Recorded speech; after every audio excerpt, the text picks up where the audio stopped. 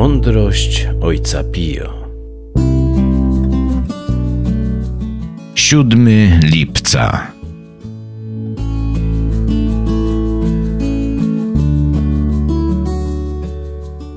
Łaska Pana Boga niech zawsze będzie z Tobą i niech sprawia, abyś był coraz bardziej godny Jego poszczególnych niebiańskich umiłowań.